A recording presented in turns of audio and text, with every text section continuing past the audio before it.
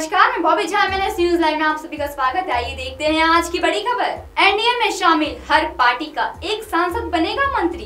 शिवसेना के संजय राउत ने दिए संकेत। नरेंद्र मोदी आज दूसरी बार प्रधानमंत्री पद की शपथ लेने जा रहे हैं।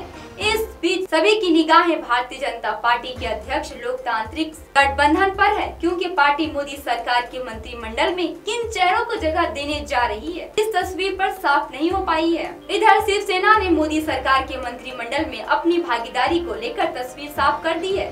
शिवसेना से मंत्रिमंडल में एक सांसद को शामिल किया जाएगा।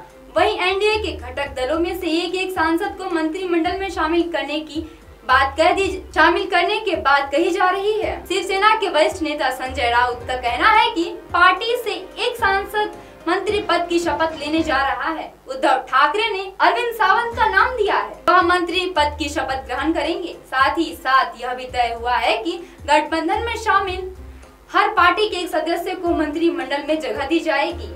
इधर कहा जा रहा है कि बीजेपी के नेता और वरिष्ठतम सदस्य संतोष गंगवार को सतारवी लोकसभा के लिए प्रोटेम स्पीकर नियुक्त किया जा सकता है।